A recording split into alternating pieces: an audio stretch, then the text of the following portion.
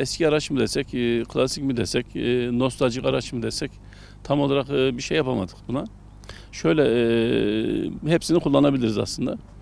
E, amacımız e, araç müzesi. Belki Türkiye'de tek araç müzesi bu. Tek diyorum çünkü otomobil müzesi var. Eski klasik araba müzesi veyahut da demir yollarının tren müzesi var veya e, hava yollarının uçak müzesi, helikopter müzesi vesaire var. Ama bunlar hepsinin bir arada olduğu tek müze gibi bir şey bu. Eski trenimiz var, tramvayımız var, uçağımız var, helikopter gelecek. E, traktörümüz var, otobüsümüz var efendim. 1980 ve altında yer alan otomobillerimiz var. E, bunlar bizim e, aslında benim yaştaki 50 yaş üzerindekilerin çocukluğunun e, nostaljik arabaları bunlar.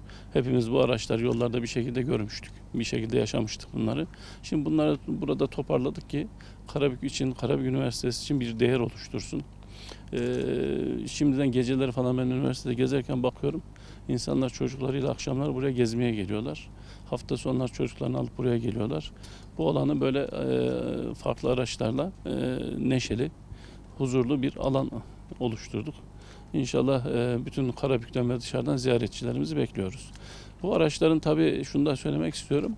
Daha şu an e, elimizde e, toplamda 40 civarı bir araç var ama bundan öyle tahmin ediyorum ki yakın zamanda yüzü geçeceğini düşünüyorum. Çünkü birçok kişinin evinin önünde atadan dededen kalma araçları var. Onlar buraya bağışlarlar diye düşünüyorum ki böyle talepler de var. Biz onların isimlerini yazacağız. Onların araçlarını buraya alacağız ama 80 1980 yılı ve altı araç olmasını istiyoruz.